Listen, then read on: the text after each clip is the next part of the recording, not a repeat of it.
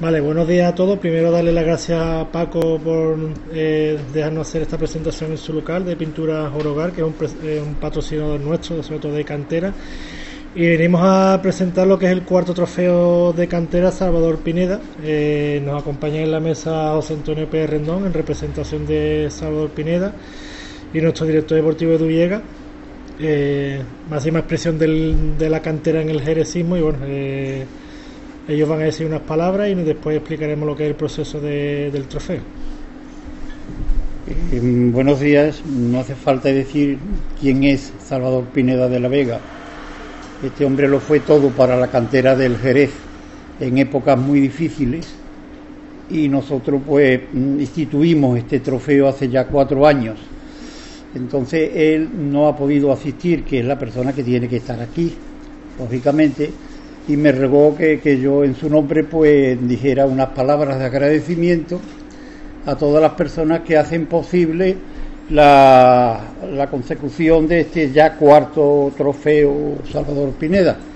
No tengo nada más, nada más que decir que volver a agradecer a todos la colaboración prestada y estamos seguros que el trofeo será un éxito como han sido los anteriores. Muchas gracias. Eh, para mí, hablar de don Salvador Pineda me supone una gran emoción y sentimiento.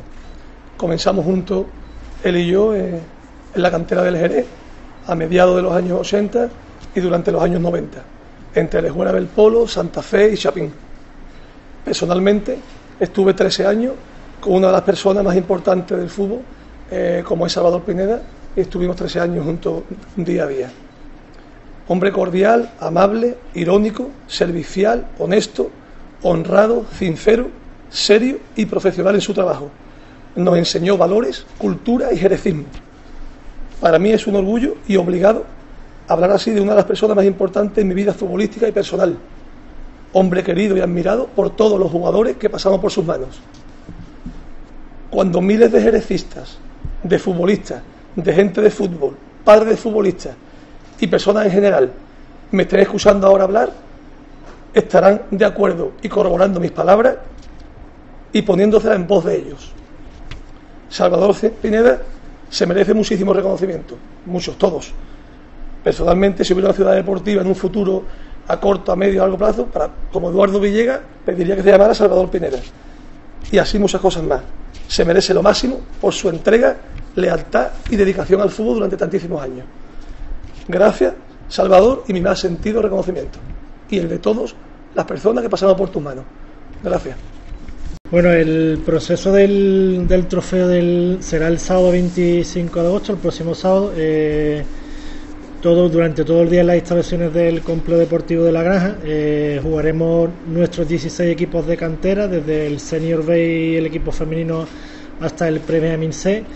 Eh, lo haremos en dos bloques, desde bloque por la mañana, del primer partido empezamos a las 9 de la mañana, terminará el último partido, empezará el último partido de la mañana a las 2 y media de la mañana y después en el bloque de la tarde tendremos partidos desde las 6 de la tarde hasta las 9 y cuarto que juega el, el Jerez Deportivo Fútbol Club B.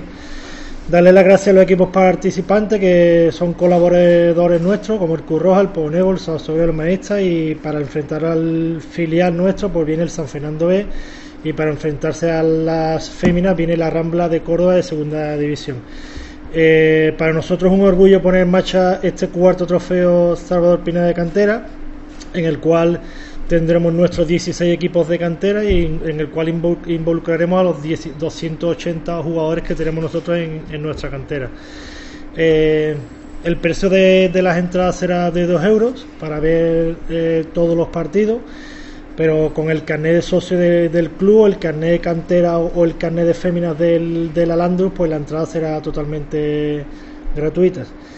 Y nosotros esperamos bueno que pasemos un muy buen día, que nos acompañe un poco el tema de, de la calor y sobre todo digo que es un orgullo que en un día tan especial para nosotros pues jueguen nuestros 16 equipos de cantera.